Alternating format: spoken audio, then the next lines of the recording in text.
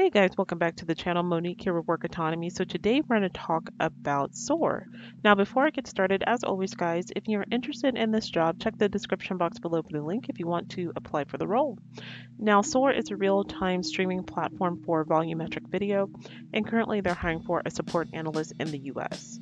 And a few things that you'll do in this role is not that many, um, but you will field incoming help requests from users, troubleshoot problems and deploy solutions to user issues, prepare service records and use notes to diagnose and repair problems, oversee case escalations.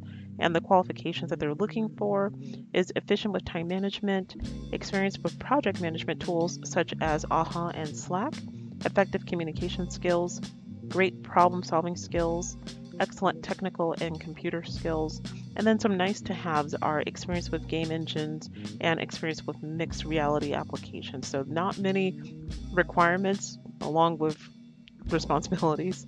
But at the top, they do show what the salary ranges are, so that's nice. So salary ranges are from 75,000 to up to $150,000. However, I wasn't able to find benefit information, but I'm sure that it is included. You'll probably get that information as you go along through the the, the process of being hired on.